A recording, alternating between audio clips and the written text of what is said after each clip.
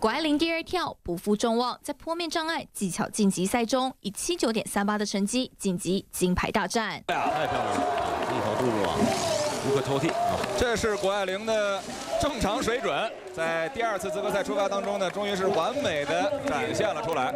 第二轮中，第一个道具区就先以四五零度转体，再以倒滑上正滑下落地完成第二个道具区。接着在第三个道具区以二七零反转落地，而在最后一个跳台，谷爱凌则以右转方向九百完美落地。也就是啊，那么一只手啊成啊日式抓板，而同侧手啊成抓板尾的这个双抓板的这个。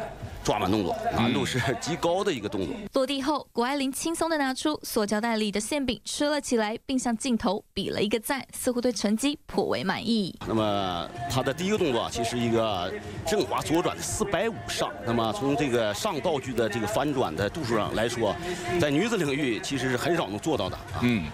呃，那么看看他三个跳台啊，这里面刚才提到涵盖两个九百，这是七八二结合了他右手抓。呃，雪板外侧的 safety 抓板，安全抓板。